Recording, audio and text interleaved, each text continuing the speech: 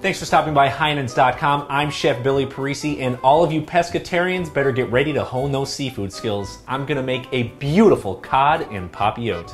The beautiful thing about making anything en papillote is whatever's fresh is exactly what's going in there. And of course, I'm gonna use cod, and Heinens has fresh seafood delivered every day, so you can always guarantee that you're gonna get the freshest seafood possible. First, to start, we are gonna slice up some new potatoes. We're gonna cut some baby carrots in half, slice up some asparagus long ways, and next we are gonna cut some cherry tomatoes right in half. The greatest thing about this dish is the hard part is over. Now it's the fun part. Dig in deep and bring out that inner artist in you. It's time to layer up our dish. So what we're gonna do is put a piece of parchment paper inside of a pan. We're gonna spray it with some non-stick spray. Next, we're gonna lay down our potatoes, some of our carrots, some of our asparagus, some of our tomatoes. Notice I didn't say all. We season that layer right there with salt and pepper.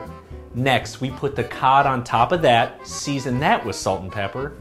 And finally, we're gonna put all the rest of those vegetables on, along with the juice of one orange, one lime, one lemon.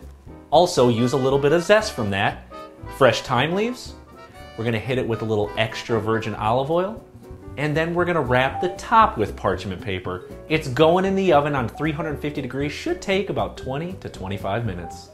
I can't even describe to you how amazing it smells in here. Let's go ahead and pop off this parchment paper and have a look. When you're a pescatarian, I know it's sometimes hard to get big flavors because you don't use cream or butter, but this dish packs a serious punch in the taste department. Not only that, you can use this technique with just about any fish that you want. Be sure to stay right here at Heinens.com to see all of our great recipe videos and pick up these great ingredients from your favorite Heinens fine food stores. Can't wait to start on this. We'll see you next time.